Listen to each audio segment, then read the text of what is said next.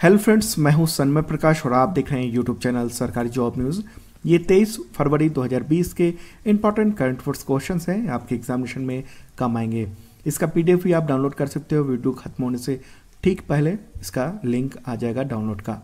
तो पहला क्वेश्चन है आज का। जीएसआई यानी जियोलॉजिकल सर्वे ऑफ़ इंडिया की ताज़ा रिपोर्ट के अनुसार उत्तर प्रदेश के सोनभद्र ज़िले की पहाड़ियों व खदान में कितना सोना है? इसका आंसर है 160 किलोग्राम। Only 160 kilogram.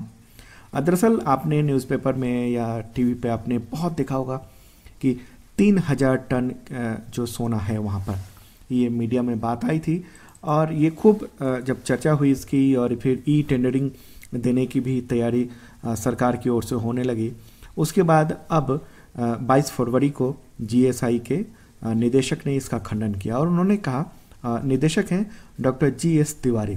तो उन्होंने कहा कि सोनभद्र की खदानों में या पहाड़ियों में वहाँ तीन हज़ार टन सोने की बात जी एस आई नहीं मानता है। वहाँ पर मात्र 160 किलोग्राम सोना ही निकलेगा। देखिए, उनका कहना था कि सोनभद्र में बावन टन स्वर्ण अयस्क है, ओके? न कि शुद्ध सोना है। और सोनभद्र में मिले जो स्वर्ण अयस्क है उसके एक टन अयस्क से मात्र 3.03 ग्राम ही सोना निकलेगा। तो एक बड़ी बात ये निकल के आई, ओके, और उस समय जब बताया जा रहा था मीडिया में तीन हज़ार टन सोने की और बताया गया कि बारह लाख करोड़ रुपए का सोना है वहाँ तो ये सब अब गलत साबित हुई है। ओके तो आप लोगों को भी ध्यान में रखने की चीज़ है, ज़रूरत है। बाद में जो भी अपडेट होता है न्यूज़ का उसके बारे में आपको जानना चाहिए। देखिए सोनभद्र में कब से चल रही है खोज सोने की? दरअसल यहाँ पर जो सोने की खोज है वो दशकों से चल रहा है। सबसे पहले 1980 में उसके बाद 1990 से 2002 के बीच और अब 2019 से 20 में अब खोज चल रही है ओके? तो इसके साथ मैं आपको बता दूँ कि भारत में सबसे ज़्यादा सोना कहाँ पर निकाला जाता है ओके? आ, ये भी एक चूँकि सोने से जुड़ा हुआ मामला है इसलिए ये भी जानना ज़रूरी है आपके लिए तो भारत में सबसे ज़्यादा जो सोना है वो कर्नाटक के हुत्ती खदान से निकाला जाता है, ओके? तो इस लिहाज से भारत में कर्नाटक जो है वो सोने का सबसे बड़ा उत्पादक राज्य है। इसके बाद आंध्र प्रदेश दूसरा सबसे बड़ा सोना उत्पादक राज्य है आंध्र प्रदेश। इसके बाद फिर नंबर आता है झारखंड, केरल, मध्य प्रदेश, वहाँ भी सोने की छोटी बड़ी खदानें हैं, ओके?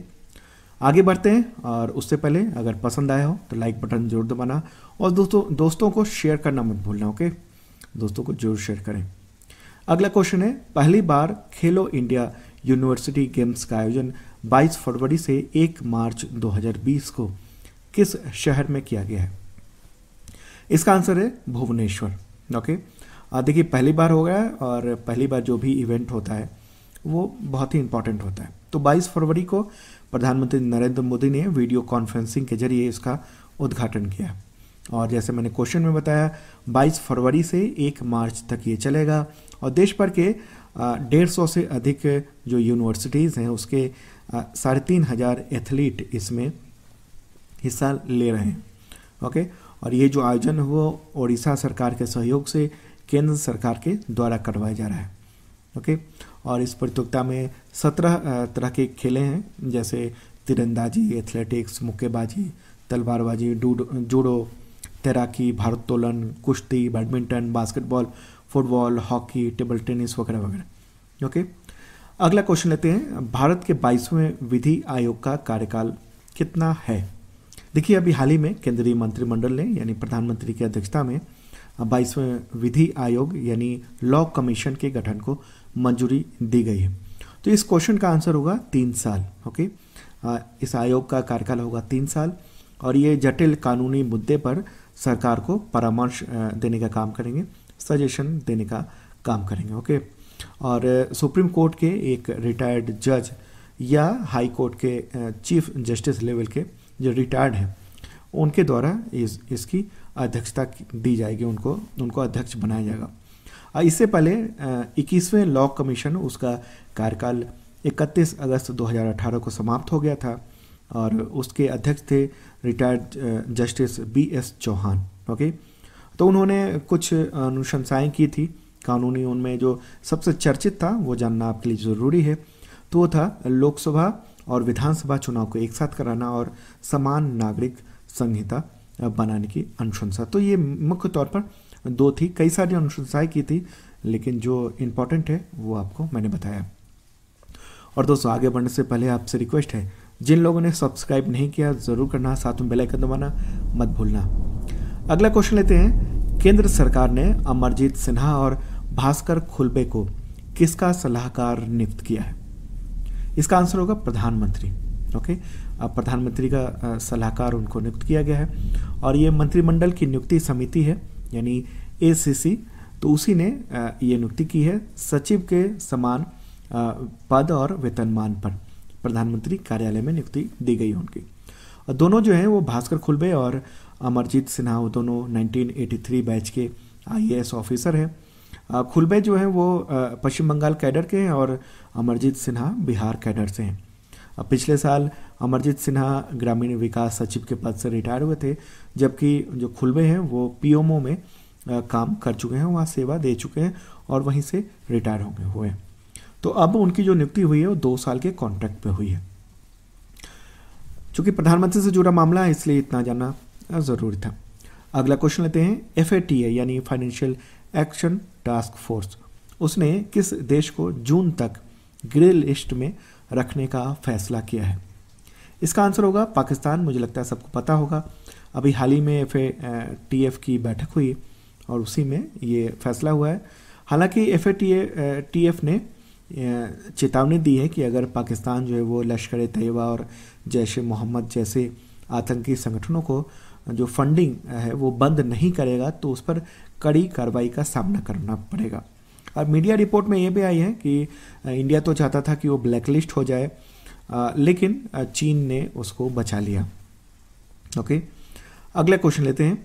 सभी फॉर्मेट में 100 मैच खेलने वाले हैं, दुनिया के पहले क्रिकेटर का नाम बताएँ। सभी फॉर्मेट यानी टी ट्वेंटी इसके अलावा वनडे और टेस्ट मैच ओके तो इसका आंसर होगा रॉस टेलर ये कहाँ कहाँ के हैं? खिलाड़ी तो न्यूजीलैंड के। ओके और ये रिकॉर्ड उन्होंने भारत और न्यूजीलैंड के बीच जो खेली जा रही टेस्ट टेस्ट श्रृंखला है, उससे पहले इंटरनेशनल क्रिकेट मैच में ये कायम किया है। अगला क्वेश्चन है, भारत में पहला भारत बांग्ला पर्यटन उत्सव कहाँ पर आयोजित किया गया इसका आंसर होगा अगरतला। ये उत्सव वगैरह भी क्वेश्चन आते हैं, इसलिए जानना ज़रूरी है। और इस उत्सव को मनाए जाने का जो उद्देश्य है वो खासतौर पर त्रिपुरा के पर्यटन को बढ़ावा देना है। और त्रिपुरा और पड़ोसी देश जैसे बांग्लादेश है तो उसके नागरिक उस राज्य के पर्यटन स्थलों से अवगत हो पाएँगे। बाकी देश के लोग भी अवगत हो पाएँगे। तो त्रिपुरा में ये आयोजन हो रहा है। वहाँ के मुख्यमंत्री कौन है? विप्लव कुमार देव। और गवर्नर कौन है? रमेश बैस। नेक्स्ट क्वेश्चन है, रक्षा मंत्री ने किस जगह पर नए सेना मुख्यालय, उसका नाम है थल सेना भवन तो उसकी आधारशिला रखी। इसका आंसर होगा दिल्ली दिल्ली में। देखिए थर्टी नाइन एकड़ का ये होगा, और इसमें टोटल छः हज़ार चौदह ऑफ़िस होंगे जो सोलह सौ चौरासी अधिकारियों के लिए सैन्य और नागरिकों के लिए ये असैन्य जो अधिकारी हैं, उनके लिए भी यहाँ पर कार्यालय होंगे। पाँच साल में निर्माण कर लिया जाएगा देखिए, इस वक्त सेना मुख्यालय कहाँ पर है? तो साउथ ब्लॉक में है राजपथ पर। देखिए, राजपथ पर सरकार ने नया सेंट्रल विस्टा प्लान तैयार किया है और राजपथ के दोनों साइड में वहाँ पर बिल्डिंगें बनाई जाएँगी।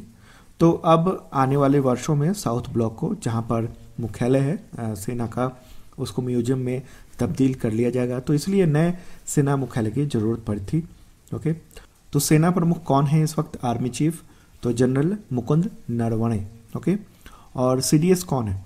Chief of defence staff general Bipin Rawat.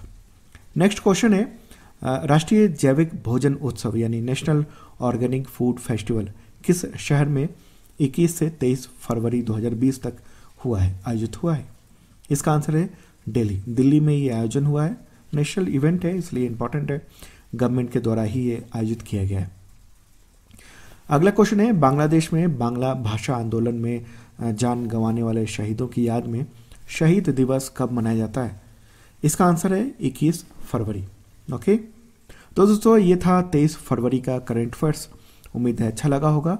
और आपको बता दूँ कि जनवरी और फरवरी का दो महीने का जो करंट अफेयर्स है, वो अवेलेबल है पीडीएफ के फॉर्म में।